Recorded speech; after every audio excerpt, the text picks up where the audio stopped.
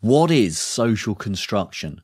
What do we mean when we say some entity or some phenomena was socially constructed?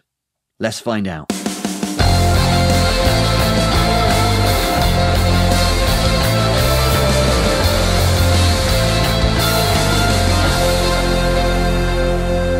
Hello, everyone. Welcome back to the attic. My name's Mark Jago. I'm a philosophy professor in the UK. In my previous video, I gave some suggested summer reading on topics in social construction, and I got a bunch of questions here on YouTube, on Twitter, with people asking, well, what do you mean by social construction? What kind of theories are we looking at? How does it kind of come about, and what effects does it have? Okay, so in this video, I want to take you through kind of explaining what I mean by social construction, take you through some examples of entities or phenomena that have been explained as socially constructed entities and trying to think about how some of those theories work. I'm going to do a follow up video in which I go deeper into the metaphysics, the ontology of social construction. So they're really thinking about, okay, when some entity is socially constructed, kind of what is it in the world? What makes it the kind of entity it is? What kind of existence and reality does it have? But I'm going to save all of that for the follow up video. In this video, I'm really just going to talk through some examples of entities or phenomena that are, or at least have been thought by philosophers to be socially constructed. Okay, so if that sounds interesting to you, do me a favor before we get going. Hit that big old thumbs up button, hit the subscribe button, and hit the bell icon to get notifications. Okay, so very roughly, when we're talking about something, some entity or phenomena or whatever being socially constructed, we're talking about something that is real, so it has causes and effects, it, it exists but it's not, or it's not just an objective physical or chemical or biological entity or event or phenomena. Okay. It's something else. And it's something that comes about that exists and continues to exist kind of because of the way that we as a society are, the way that we think, the way we talk, the way we conceptualize the world. Okay, so that's quite a vague and quite abstract definition. So I'm just going to give you some examples and talk through the ways in which they're socially constructed. So I'm going to start off with some examples which are pretty obviously social constructions.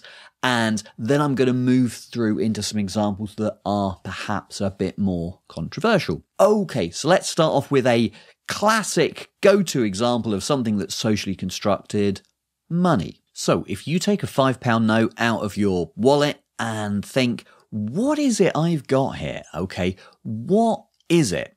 Well, it's something that holds value. It's something that allows you to exchange that piece of paper for goods or services or whatever to the value of five pounds. It's a mechanism for exchange. That five pound note holds value. It allows you to buy things. Now, that piece of paper itself intrinsically doesn't hold any value, or at least like a tiny, tiny bit of value as a piece of paper, let's say, but you know, you can't write on it. It's pretty useless aside from the value that we as a society put in it. So when I'm saying that that piece of paper doesn't have any intrinsic value, I mean, in and of itself, it's kind of useless, okay? It only gets its value as a, as a bit of money, as something that I can use to exchange because of all of the things that society is doing around it. And there's a couple of ways in which we can make this really, really vivid. One is just to think about all of the different ways in which you can have something that's five pounds, right? You might have a five pound note, you might have five pound coins, or you might have something on your bank statement that says you've got at least five pounds there and you've got a card and you can tap your card or you can do Apple Pay or, you know, whatever. So you've got kind of coin money, you've got paper money, and you've got digital money. All of these are completely equivalent five pounds, right? It doesn't matter if you go into a shop and pay with your five pound coins or with your five pound note or you, you do it on your debit card. I mean, like if they accept all those things, then there's no difference. Maybe some shops don't accept them all, but you know, just think about the case where they accept all of those ways of payment. All of those ways are equivalent five pounds, okay? It's the same five pounds, however it's going out. But they're obviously not the same physical entities, right? In one case, you've got five lumps of metal. In one case, you've got one piece of paper. And in the other case, you don't really have anything physical other than kind of whirrings going on in a computer somewhere. So the physical realization of that five pounds is kind of irrelevant. It's just that, you know, we count certain physical lumps as holding this value but it really only has that value because we say that it does. Another way of bringing this out is to think about what happens when bits of money go out of circulation. So if you go back in time, you'll find paper money that was like way bigger. So I remember five pound notes being bigger, and then you go way back and there was like one pound notes and they were like big old things. And there came a point where those pieces of paper were taken out of circulation. So uh, at the assigned date, literally just before that date, they would be worth a pound or five pounds, and after that date, they would be worth nothing. And nothing intrinsic to them changed. I mean, it's still the same piece of paper with the same markings, and all that changed was the rules and regulations that we, as a society, or the Bank of England in this case, wrote down governing how those pieces of paper could be used and exchanged in our economy. Let's move on to our second example of socially constructed entities, disabled parking spaces. Now, at first, this might sound like a bit of a weird one because a disabled parking space, it's something that's that's there, it's physical, it's got a certain size and shape to it. How is that socially constructed? A disabled parking space is something that has to be marked out in a certain way. It has to be marked in a way that marks it as a disabled parking space to let people know who can and who can't park there. And the, the marks that we use they are something that we as a society give meaning to. Okay, so we, we mark them out with kind of bright yellow hatching. We decide that that's the way that we're going to mark out disabled parking space. And when you do that, when you take a bit of tarmac that is otherwise just a plain old piece of tarmac, but you mark it out as a disabled parking space, it gains these kind of normative and ethical properties that it didn't have before, right? So before I could park my car there, but if it becomes marked as a disabled parking space, I now shouldn't park my car there. I shouldn't block it, okay? It's unethical for me to do that because I'm not a disabled person. We as a society can take some physical objects and kind of imbue them with moral and normative properties, like meaning that we can and can't do certain things with them after that. And that's something that we add to the physical world through social interaction, through writing down rules and through making up norms and ways of behaving, codes that we should abide by as a society. We can extend this kind of view to language in general. So we don't just think about language as a bunch of sounds or a bunch of squiggles down on paper. That's just really the, the physical realization of language. Language taken as a whole is something that has meaning. That's the whole point of language. It has meaning so that we can communicate with one another.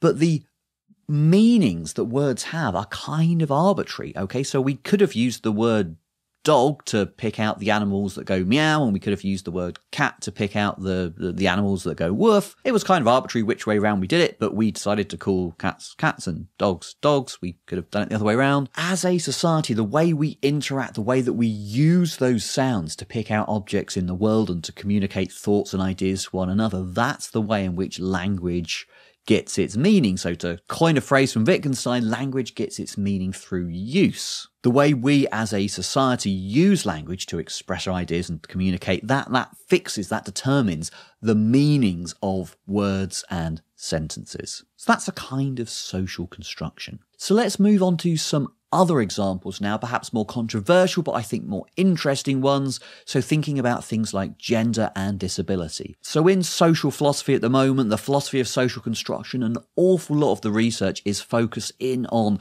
these kind of concepts. There's an awful lot of very interesting work being done here at the moment. I talked about some of that in the, the previous video with the reading recommendations, so I suggest you go and have a look at those if you're interested. I'm going to skip by gender here because that is a huge debate. It really deserves a whole video of its own and then some. I'm just going to say a teeny weeny little bit about disability. Again, I think this is something that, that seems at first a bit surprising to think of as a social construction, at least to able bodied people, because maybe a lot of people's first reaction would be, well, disability, at least physical disability, that is a, uh, that's a physical matter, right? If somebody can't walk as long as an able bodied person or they've lost a limb or whatever, you know, that's a, that's a physical matter, right? So why are you saying that disability is socially constructed. So I've been watching the Tokyo Paralympics, I've been watching the wheelchair athletes thinking, you know, I couldn't do that. I probably couldn't even push a manual wheelchair around for very long at all. Some people use them all day long. Okay, so there's something that this disabled wheelchair user can do that I can't do, and there's things that I can do that they can't do. I think of myself as able bodied, they think of themselves as disabled. So, why is that? Well, likely it's got something to do with what we count as normal in society, like walking around, being able to walk around. That's a kind of a normal thing. Uh, being able to push yourself around for long periods of time in a manual wheelchair. That's not something that we normally have to do in society. We don't need those abilities to navigate the kind of world, the kind of society that we've set up. Okay, so this kind of explanation, it relies really heavily on what are the norms in society? If we had a completely different kind of setup to society, whereby uh, the normal mode of everybody getting around was going around in manual wheelchairs, then given that's the kind of ability that I don't really have, that society might consider me to be the disabled person and the people in the wheelchair as able bodied. Okay, so it very much depends on what are the norms that we've set up in society that's going to determine who we count as being able bodied not able bodied. This is a matter of setting up social norms, and that's what makes it a matter of social construction. Now, in saying that, we're not saying that we write the biological or the physical kind of stuff out of it completely, right? Because given the kind of norms that we've set up as a society, it's going to follow that somebody with various physical abilities will count as one thing, and somebody lacking some or all of those will count as not being able bodied. Okay, so the physical, biological, or whatever stuff does come into it. Just as in the case of the disabled parking space, we need a physical space that's big enough to fit a car in it and then some. I can't just take a postage stamp and say, oh, let this be a disabled parking space. Saying that something's socially constructed doesn't mean that anything goes, that we can just deem something to be something and thereby it is that thing. Physical characteristics or chemical, biological, whatever characteristics will come into the story. The kind of theories of social construction that make most sense to me take some physical or biological or whatever object and it adds to them various normative properties based on the way that we as a society interact. So it seems to me in these kind of cases I've been talking about, we've got entities or phenomena that are pretty obviously socially constructed. Now, what I'm not saying, what I'm not trying to talk about here is the more kind of extreme anti-realist or idealist view which says that everything is socially constructed. I mean, that is a philosophical view. The idea that everything in reality is socially constructed through interactions of human minds or whatever. That's not a view that I have much philosophical sympathy for. For one thing, it doesn't seem to be able to explain that, you know, at one point there was a reality out there without any humans in it. Right before humans or before any minds evolved, there was planets and stars and stuff like that, but there were no minds to think about them, there were no people to talk about them, there was no society. If everything were socially constructed, then no society means no entities, no nothing.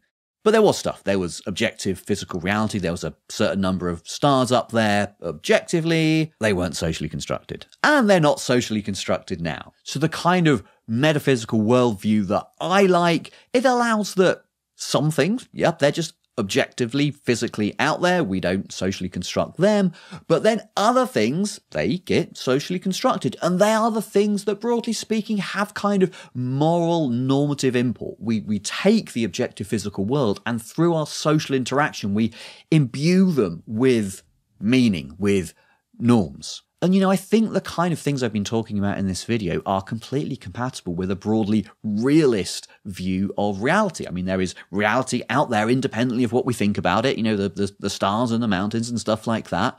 And then we as a society do some stuff through interacting and we bring extra stuff into existence and it has these kind of moral and normative properties. There's no real objection in any of that to a, a realist uh, view of reality.